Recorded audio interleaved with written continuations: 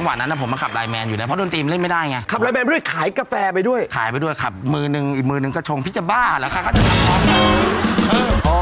คือขายกาแฟช่วงหนึ่งแล้วก็ไปขับ LINE MAN ใช่ แล้ววันนั้นเราลงคลิปไปผมก็ขับ แล้วมันก็จะมีที่เหน็บมือถือนะอ่าอ่าโอ้โหมือถือสั่นเป็นร่างทรงเลยพี่ผมก็เลยเข้าไปดูใน TikTok โอ้โหนี่แดงโอ้แป๊ดเลยค์ยอดติดตาม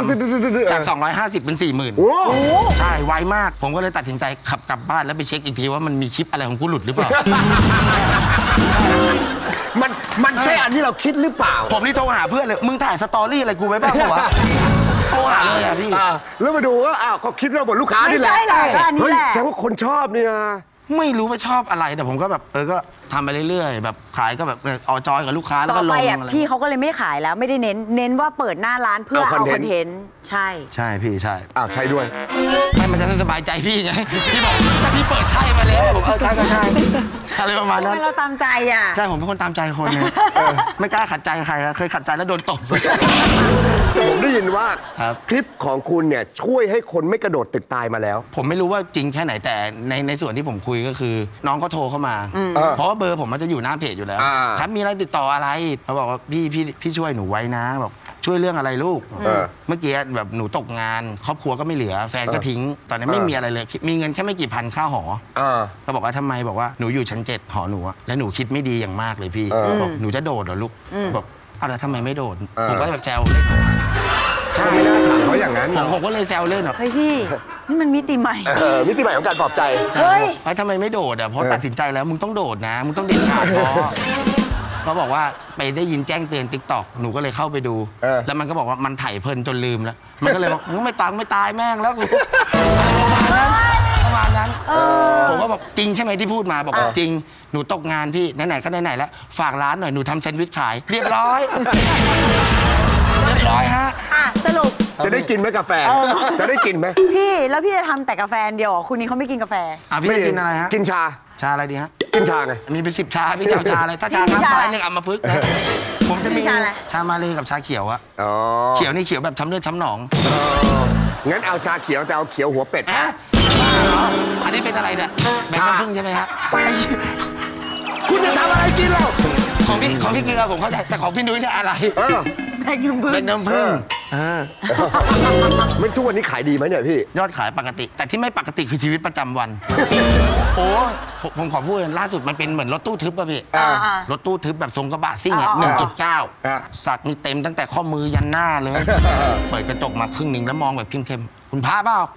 ผมนึกในใจเนี่ยกูโดนแน่ไม่ซ้ายก็ขวา สักพักหนึ่งบอกใช่ครับพี่หุยเมียหนู FC พี่เลย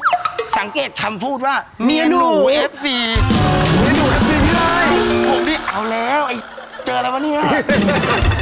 ผมก็ลงไปเออ ก็จับไม้จับมือคุยกันถ่ายรูปกันปกติพี่ก็คือยอดขายเท่าเดิมเท่าเดิมเพิ่มเติมคือชื่อเสียงแค่นั้นเอง ชื่อเสียงเหรอ ใช่ความเหรอวุ่นวายอ้าวแล้วตอนนี้โควิดหมดแล้วอะ โควิดหมดแล้ว เลิกไหมพี่ไม่ล่ะกลักาบไปแฟกลับไปเออเล่นตีไหมล่ะเหมือนเดิมนี่ก็คือใช้ชีวิตเหมือนเดิมเลยร้านกาแฟก็ยังเปิดกลางวันก็ยังได้ทานกาแฟอยู่ใช่อันนี้ของพี่นุ้ยนะครับฮะนอกเอจากอจะอเป็ยานกตกินลกเป็นแล้วก็คืนลาเต้แทนได้ปะแล้วกูเทซะแล้วว่ะเราก็ความรู้สึกช้าไปแล้วว่าคนสวยไม่ได้ฮะตรงนี้ต้องชงตามเวรตามกรรมเลยพี่พี่ พี่สั่งมาแล้วพี่ต้องรับผลกรรมมันให้ได้ โอ้ตายแล้ว พี่สวยนะนี่ แต่ถ้าไปเจอที่ลบบุรีผมเป็นไง เอาแน่เลยเนี่ย เฮ้ยเอาไรเอาไรเอาไรผมจะพาเพื่อนมาเอาอกเอาใจพี่ถึงร้านเลเอย อโอเคเออชาเชื่อว่าวันนี้ไม่ได้กินหรอกชาคุณเนี่ย ใช่ อุ้ยเฮ้ย เดี๋ยวดิ เฮ้ยอร่อย พี่เฮ้ยเหมือนอุบัติเหตุเกิดเลยครับมันไม่ไม่เหมือนเฮ้ยอเฮ้ยอร่ร่ออยยอะอร่อยพี่ อะพี่เกลือชาอะไรนะพี่ ชาชัก ชาชัก ใครจะชักพี่ เดี๋ยวชักเอง เอาชามาก่อนเดี๋ยวผมไปชักของผมเองได้แล้ว เออผมก็สนุกสนานกาดีแฟอนะร่อยอะพี่อยู่สาขาไหน ผมอยู่สาขาเอื้ออาทรครับเอาแล้วอีกสาขาหนึ่งอะ อีกสาขาหนึ่งแฟนผมขายอยู่ที่วัดชลิวิลเลจแล้วแล้วแฟนพี่เหมือนพี่ไหมไม่เหมือนถ้าจะสภาพดีหน่อยก็ถ้าเน้นอยากกินกาแฟอ่าฮะไปสาขาเมียพี่เขา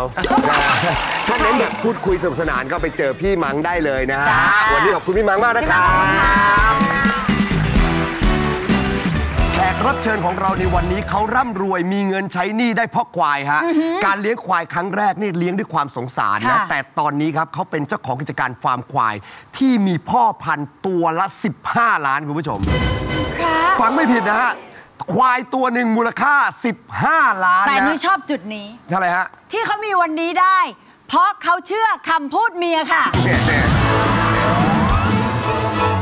คือจะเคลมทุกอย่างไปเลย จากการเลี้ยงควายก็คือลืมไปเลยแน่นอนะฮะเอ้าเจ้าของฟาร์มอยู่ตรงนี้ฮะร้อยตำรวจเอกจิรศักดิ์คำวเน่หรือผู้กองเป็ดสวัสดีครับโอ้เชิญเลยฮะโอ้โอ้ยผู้กองครับผมหนูไม่มองอะไรของผู้กองเลยนอกจากเออทองทองอะ แต่ว่าจุดเริ่มต้นของการมามาเลี้ยงทำความควายเนี่ย เออเพราะว่าความสงสาร ใช่ครับ คือเริ่มแรกเนี่ย ผมไม่ได้มีความรู้เรื่องควายเลยอ้าว ครับ เพราะว่าอย่างผมเป็นตำรวจ พ่อเป็นตำรวจ อ๋อ เป็นคแฟรอบนครัวตำรวจภรรยาก็เป็นตำรวจ ครับ ทีเนี้ยก็อ่าวันหนึ่งก็ไปทำงาน ออกไปปฏิบัติหน้าครัที่บออกไปทำงาน ทีเนี้ยไปเจออ่ารถรถเขาเข็นควายครับฮะเขาจอดขวางถนนไว้ ฮะ ทีเนี้ยเขากำลังไล่ไล่ควาย ตัวแม่เนี่ยกับตัวพี่เนี่ย ขึ้นรถไปแล้ว ค่ะฮะตัวเล็กเนี่ยอายุประมาณสักสามเดือนได้ เขาก็เขากลัวเขาไม่ขึ้นรถเขาก็วิ่ง แล้วทีเนี้ยเขาร้องครับ อ๋อ เขาก็ร้องวิ่งร้อง ไอเราตอนลงไปเจอตอนแรกเนี่ย ยังธรรมดาอยู่ พอไปอะ เห็นเขาร้อง ทีเนี้ยร้องน้ำตามันน้ำตาไหล โอ้ ครับ น้ำตาไหลทั้งแม่ทั้งลูกเลย ครับ โอ้ยครับ มันก็ร้อง มันเลยเกิดความสงสารครับ ก็เลยเลยถามเขาว่าจะเอาไปไหนเนี่ยฮะ ไปเขาเลยบอกว่าจะเอาไปที่เอาไปที่ตลาดนัด เอาไปขายตลาดนัด ซึ่งเขาไปกิน เอาไปกินนะเขาน่าใช่จะไปใช่เหมือนใช่ลงเชื่อดอย่างนั้ใช่นเลยครับ เนาะพอเขาบอกว่าเอาไปกินปุ๊บไอเราก็ก็ยิ่งยิ่งสงสาร ครับก็เลยว่าพี่ถ้าผมจะซื้อไถ่ชีวิตเนี่ย พี่ขายให้ผมไหมอ่าอ่าครับเขาบอกขายแสนสองอู้สามตัวสามแสนตัวสองแสนสองก็คุยต่อรองราคาเขาเขาเลยลดให้ 9 4 0 0 0พี่อ่าฮะอ๋อตอนนั้นมีเงินติดตัวเท่าไหร่นะคะ 5,000 บาท เดี๋ยวแล้วแล้วแล้วบ้านเราอะพี่เป๊กบ้านเรามีตังค์นะ ไม่มีครับพี่ แต่พี่ถ่ายชีวิตควาย 9 4 0 0 0ครับ ตอนนั้นคิดไหมว่าจะเอาตังค์จากไหน คือในในจังหวะนั้นเนี่ยไม่ไม่ได้คิดอะไรเลเลยยคิดเพียงแค่ว่าสงสารช่วยชีวิตเขาก่อน ครับ ในใจคิดว่าเงินเนี่ยเราหาได้ เออ แต่ถ้าเราปล่อยเข้าไปในจังหวะนั้นเนี่ย เขาตายแน่เขาตายแน่ๆ ผมผมมาคุยว่าผมผมมีตังค์อยู่ 5,000 ผมก็ยืมลูกน้องรวมกันได้หมื่นหนึ่งพอดี ก็ แต่ว่าพี่ยังต้องเหลืออีก8ปดหมื่น80,000กว่าแปด นะ แปดอีกแปดหมื่นสี่ครับอ่าดีแปดหมื่นสี่แล้วมาคืนนะพี่นะครับเราได้แล้ว ปั๊บได้ควายแล้ว ครับอันนี้เอากลับบ้านเลยได้ควายไหมแล้ว ก็เอาตังค์มัดจำให้เขาก็บอกให้เขาไปส่งที่บ้าน พอค่ะนั่งรถไปเริ่มคิดแล้ว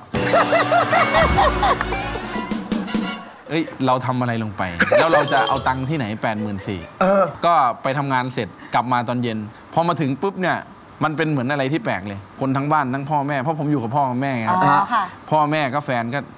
ถามเลยพอจอดรถได้ ครับ เนี่ยนี่อะไร มาไง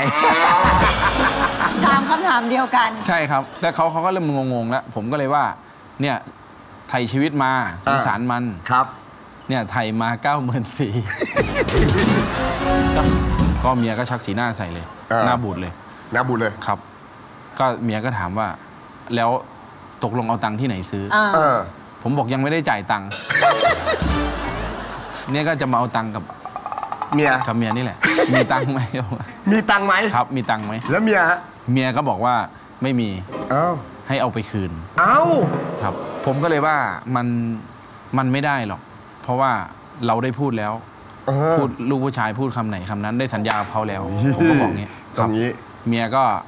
ไม่พูดด้วยเลยเดินเข้าบ้านอุ้ยพอเดินเข้าบ้านปุ๊บเนี่ยปัญหาผมเกิดแล้วเอ๊ะผมจะเอาตังค์ที่ไหนใช่เออเอาตังค์ที่ไหนอะพี่ก็คุยกันสักพักหนึ่ง ก็เลยบอกทองไงทองแต่งงานไง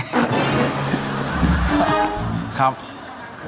มันยังเหลือทองแต่งงานไงพี่พี่แขวนพระอะไรตอนไปพูดกับเมีย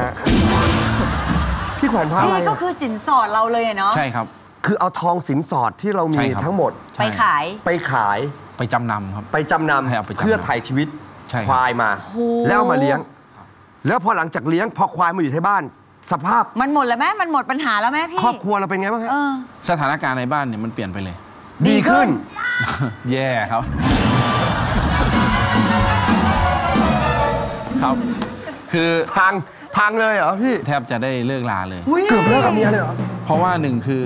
เราตัดสินใจโดยที่ไม่ไม่ได้บอกใครไม่ได้ปรึกษาใคร บแล้วก็เราเอาสิ่งที่แบบมันเป็นมันเป็นของสำคัญใช่ ครับในชีวิตแต่งงานเนี่ยเอาไปจำนเอาไปเอาไปจำนอืมำเพื่อแลกกับ ของที่เขาพร้อมจะตายได้ตลอดเวลา อ่าใช่ครับ พร้อมจะสูญไปเลยเงินนี้ำทีเนี้ยพอพอหลังจากนั้นปุ๊บก็เวลามันก็ห่างแล้วเวลาในครอบครัวมันอ๋อห่างเพราะพี่ต้องไปดูแลควาย ใช่ครับ ผมเนี่ยต้องตื่นอ่าตีสี่ฮะ ต้องไปเกี่ยวหญ้า จากเป็นตำรวจกลายเป็นคนเกี่ยวหญ้าครับเกี่ยวย่าให้ควายใช่ครับ ไปเกี่ยวหญ้าเสร็จปุ๊บเนี่ยต้องมาเก็บขี้อ่าแล้วก็8ปดโมงเช้าไปทำงานครับแต่พอกลับมาปุ๊บเนี่ยแฟนเขาไปทำงานแล้วเพราะเขาต้องไป ค่ะอ่าคือเวลาช่วงเช้าไม่เจอกันเลยไม่ผมเจอทำงานคนละที่ครับ อ่าครับพอสี่โมงเย็นปุ๊บผมกลับมา อ่า ผมก็ต้องเอาควายไปเลี้ยง เอาไปเดินเลี้ยง เอาไปเดินกินหญ้าใช่ครับเดินเล่นพอกว่าจะเก็บขี้กว่าจะทำอะไรเขาเสร็จเนี่ยเกือบสองทุ่มเข้านอนแล้ว กลับมาแฟนหลับแล้วเอ้าครับ ทีเนี้ยเวลาห่างกันเลย ไม่ได้เจอกันเลยเอ้า ครับ โอ้ ทีเนี้ยจากเคยกินข้าวเย็นด้วยกันก็เออไม่เปลี่ยนไปมีละครับ สถานการณ์มันก็เริ่มแย่ ตึงใช่ตึงเครียดตึงเครียด แล้วทีเนี้ยเราเราไม่เคยเลี้ยงควายเลย อ่า กินขี้กับเยี่ยวมันเนี่ยมันเป็นอะไรที่เราค่อนข้างจะรับไม่ได้อ่าทั้งครอบครัวเลยแหละครับมันเหม็นน่ะครับ ทีเนี้ยพ่อกับแม่ก็เริ่มบ่นแล้ว อ่เพราะว่าตอนเที่ยงต้องให้พ่อช่วยครับ อ๋อ ครับพ่อพ่อพ่อเกษียณแล้ว